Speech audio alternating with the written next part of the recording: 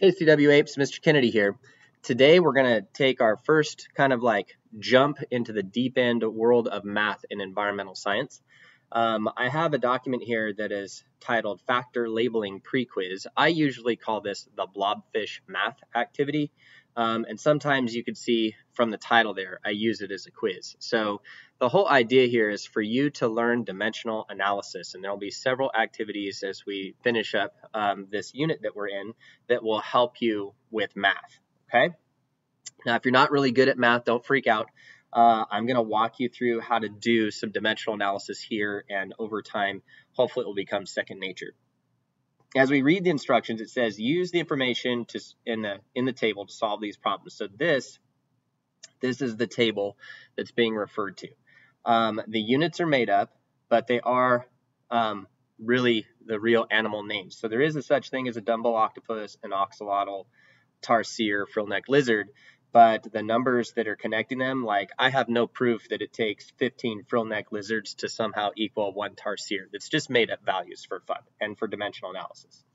So what you're going to need to do in order to um, get full credit on something like this is um, you need to be able to show your setup and do some quote unquote long math without just like trying to punch numbers into a calculator and put an equal sign after this. If I'm grading this and you put how many tarsiers in one blobfish and you just go uh, like the answer is 500 or something and you don't show any work and you don't show any long math then you don't get any points okay? So it's really really important. Um, that's not the right answer by the way. Um, so you know that you show your work because the college board when they grade your work um, sometimes if you get the answer wrong but your setup is within the realm of acceptability you'll still get points on frqs okay so uh, these are dimensional analysis problems, and one of the things that I always encourage students to do as we do dimensional analysis is kind of create a graphic organizer or a mental map of what you've started with and where you want to go as you're doing your dimensional analysis. So let's jump into the first problem. It says how many tarsiers um, are in one blobfish? How many tarsiers in one blobfish? So that tells me that uh, I'm starting off with a blobfish and I need to get to tarsiers. Okay, so I'm going to look down here at my um, parenthetical statements, if you will, or conversion factors, and um, are you know just check to see if there's any that can take me directly from blobfish to tarsier. There's only one blobfish um, conversion factor in this table, and it is right here. Okay, and uh, no, it doesn't go directly to tarsiers. So what I need to do is use some some of my powers of logic and deduction to figure out how I can go from blobfish to tarsiers. And I've got a couple of options here. I can go blobfish to narwhal, right? And then maybe narwhal to frill neck lizards, and then frill neck lizards to tarsiers, right? Um, you know, that's probably the most direct route. I can't really go like to Dumbo octopi because there's no connection from blobfish to narwhal to like Dumbo octopus. So I can't really use the Dumbo octopus um, or even axolotl parenthetical statements here because the only parenthetical statement or conversion factor that's blobfish in it is going to make me convert my blobfish to narwhal. And then there's no other way like to get to Dumbo octopus to tarsiers and things like that. Okay. So what I'd like you to do as you start these things is kind of create a mental map again of what you're starting with and where you're going to go. So um, for me, I know that I'm going to start with a blobfish, blobfish, and that first parenthetical statement is going to convert my blobfish to um, narwhal. Okay, so um, I'm going to write that down because that's the first step. The second step I can see here, I've got to go narwhal to frillneck lizards. So um, the narwhal to, and I'm just going to write F and L for frillneck lizard because that's easier. And then from frillneck lizards, look, I can go to tarsiers. So I'm going to go F and L to my tarsier. And that's going to be the flow of my dimension, dimensional analysis. Okay. So now it's just a matter of doing a little problem solving here. And as you set this up in dimensional analysis, you want to remember um, you're going to create parenthetical statements and simply do some cross canceling, some simple multiplication and division. Um, that's really all the, the math entails. So I know that I'm starting with one blobfish, so I'm going to write that like this. 1 B for blobfish over 1. 1 over 1 is 1, okay? So I've got one blobfish. And then I need to cancel out that blobfish so that I could eventually get to tarsiers. So I'm going to make a parenthetical statement. If you wanted to, you could put parentheses around all of these. It's not really necessary, but you could. Um, the first conversion factor is one blobfish equals 10,000 narwhals. I have one blobfish. I need to cancel that out. So I'm going to put one blobfish over 10,000 narwhal like that. Okay. Um, the blobfish will cancel out. If I stopped my math right here, then my answer would be in narwhal, and I don't want that. I need my answer to be in tarsiers. So we're going to do another parenthetical statement. This time I need to cancel out my narwhals. So I'm going to put one narwhal um, on the bottom and then three F and L for frill neck lizards um, above that. Now my narwhal will cancel out. Okay. Again, if I stopped here, my answer would be in frill neck lizards. I don't want that. I need my answer to be in tarsiers. So I'm going to go to the next one and it says the next parenthetical statement, which is this one, frill neck lizard to tarsier. So according to my table, um, 15 frillneck lizards is equal to one tarsier. Now I need to cancel out these frill neck lizards, so the frill neck lizards need to go on the bottom. 15 frill neck lizards and one tarsier like that.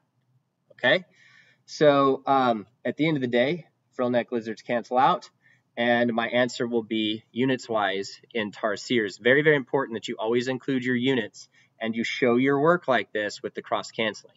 Now, I'll be real honest with you. If you used a calculator at this point, totally fine, right? Um, when I say show the long math, that doesn't mean that you got to like create like this multifaceted, like multiple step longhand multiplication division problem. The College Board has recently started to allow students to use calculators. So you could use a calculator at this point to get your answer, but I need to see all of this before you do that. Okay and then I'll let you crank out the answer here at the end. All right.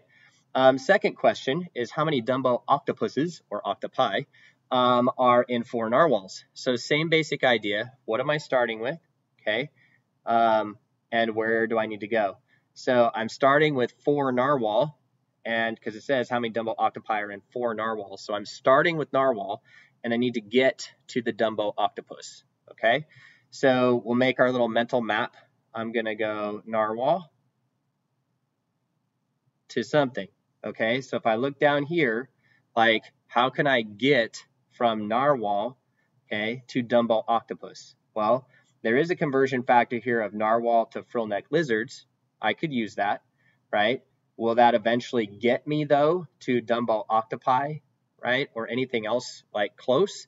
Well, um, I've got a frill-neck lizard. If I go narwhal to frillneck lizards, well, then maybe I can do frill neck lizards to tarsier, and then look, I've got a conversion factor that has tarsier and Dumbo octopi in it.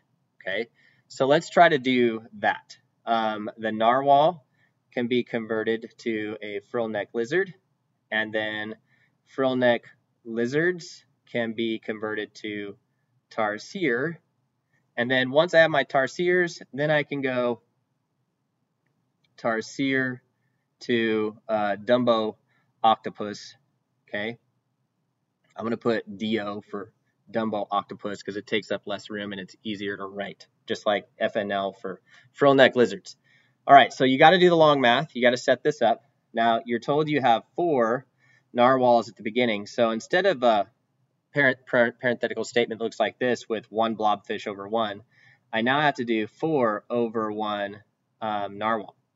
Okay, so 4 over 1 narwhal, that's where I'm starting because I have four narwhals. 4 over 1 is 4. And we're going to convert the narwhal to frill-neck lizards. So here's narwhal to frill-neck lizards. I need my narwhal to cancel out. So um, narwhal goes on the bottom. So 1 narwhal, 1 n, okay, is equal to 3 f n l, frillneck lizards. Okay, the narwhal units cancel. If I stopped here, my answer would be in frillneck lizards. I don't want that. I need to get to Dumbo octopus. So let's keep going. Um, So I can go frillneck lizards to tarsier and then tarsier to Dumbo octopus. That's my most direct route. So now my frillneck lizards have to be converted to tarsiers. It says it takes 15 frillneck lizards to equal one tarsier. So I'm going to put 15 frillneck lizards on the bottom and one tarsier um, on, on the top. Okay. And then next thing I'm going to do is convert my uh, tarsier answer here. My frill neck lizards will cancel out. I got to convert my tarsiers into Dumbo octopus. So on the bottom, I'm going to write point zero zero zero one tarsiers. So that cancels out, right? 0.001 tarsier to 2 Dumbo octopus. Okay, so now you can see my units have canceled. And if I just multiply across the top and then divide from what I've got on the bottom, like I'll get an answer for that and I'll let you crank that out. Okay. Um, don't forget to use scientific notation where you can. It does make this um, a little bit faster and easier, especially if you're trying to do the math without a calculator.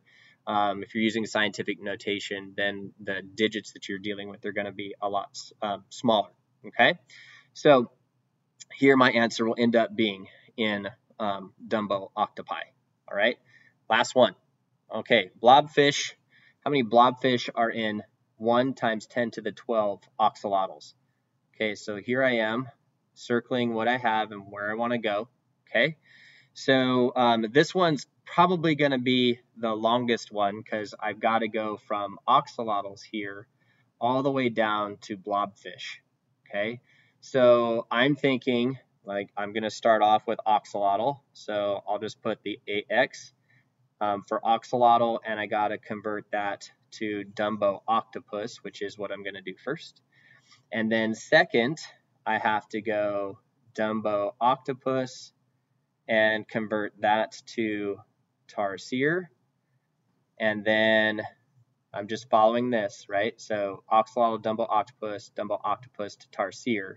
So now I got to get from tarsiers to maybe frillneck lizards or like frillneck lizards to narwhals to blobfish, right? So I'm at tarsiers, so I'm going to go tarsier to um, frillneck lizard, FNL, once I'm at frill neck lizard, okay, FNL, then I can go to um, to narwhal, so N for narwhal, and then I can go narwhal to blobfish. Okay, so it's literally one, two, three, four, five steps. Um, pretty much using all of the conversion factors to get from axolotl uh, to blobfish. So if you just stick, you know, with scientific notation that you already have here, that'd probably be the best thing to do. Um, as we make our parenthetical statements, we're going to start with our, our axolotl to Dumbo octopus. We're told we have 1 times 10 to the um, 12 axolotl over 1. Okay, so that's what we're starting with. We need axolotls canceled out. So our first parenthetical statement here says that there are um, 10 axolotls to every 0.22 Dumbo octopi. You cancel that out. So now my answer would be in Dumbo octopi if I stopped right here. Okay. Um, I still need to keep going, so I'm going to convert my Dumbo octopi to tarsiers.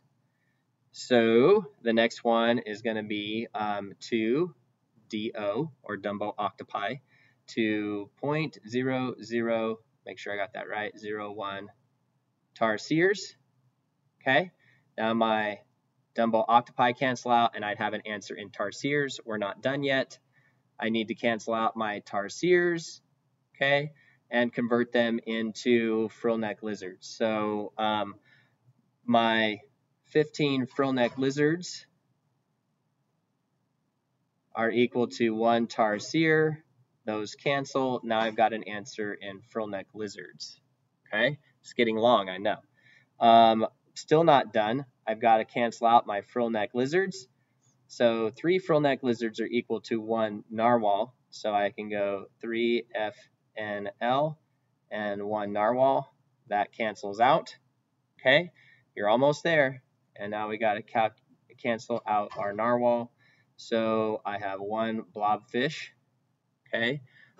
And one blobfish is equal to 10,000 narwhal. Those cancel out. So if you go through and multiply across the top and then divide by what you have underneath, okay, your answer will end up in blobfish, okay? Um, and yeah, I'll give you, there's probably some shortcuts. Some of you are going to want to do like, oh, I want to just take the 10 and cancel here. So that's a smaller number or things like that.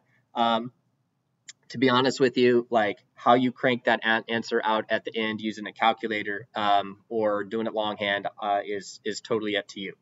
The end of the day, though, to get full credit, you have to show these parenthetical statements. You have to show a logical understanding of how you get from point A to point B the the long math here, right, is is required, but the actual number crunching that you do at the end, that's totally up to you. Use a calculator, okay? All right, ladies and gents, that is how you do dimensional analysis for the blobfish activity. I'm Mr. Kennedy, and I will see you next time.